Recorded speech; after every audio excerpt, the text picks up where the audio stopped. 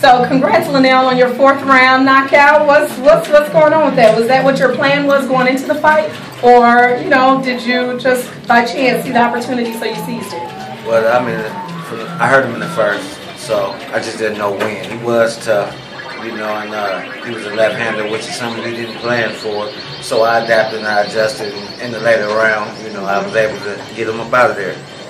Okay, so yeah, let's go back to your last fight, Roberto Young. Yeah. You caught a little bit of flack regarding, you know, from that fight. Did you take have any takeaways from that fight, or you know, did you learn anything from that experience? No, you learn every you learn something from every experience naturally. But what I did learn is to eat better because I had trained well for that fight, but I ended up being on the tail end of the fight, which made I was a swing bout.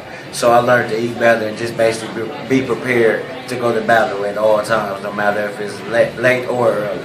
So naturally, just that being that I learned from that is fight hard and just stay ready for anything. That's right. Okay, let's let's take it to your big brother.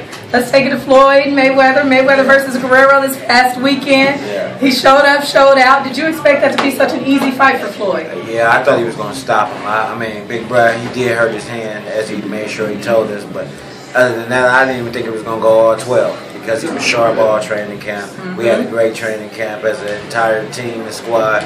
So, I mean, yeah, that boxing one on one, yeah, you didn't expect that. That's what it was. He put on yeah, a clinic. He put on a clinic. All right, what did you think about the undercards? Did you expect Abner Mares to put his hands on Ponce de Leon like he did? Not that way. Mm-hmm. Not that way. I mean, he won it hands down. I mean, but I it was very unexpected. But mm-hmm. it was a good fight. It made it for excite, a very exciting undercard. All right, what's next for Lanell Bellows? Uh, anything in my way. I told Big Bro, I said uh, I'm ready. I'm back in the gym tomorrow. So uh, whenever you get a call, give me a call, and we right back in the ring. That's right. That's what's up. Stay ready, have to get ready. Absolutely. All right. What do you have to say to your fans? If you would, shout them out. Tell them how they can stay connected with you on social media. Yeah, it's Lanell, Mr. Knockout Bello. Stay tuned to my journey on my journey to the top. Uh, you can catch me on Instagram, Ko Bellows, K O B E L L O W S, or at Lanell Bellows. You can catch me on Twitter.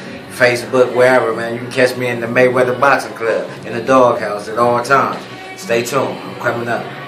That's what's up. This is Carla J on BoxingSocialist.com and sound off with Carla J. You guys check us out. Peace. Thanks.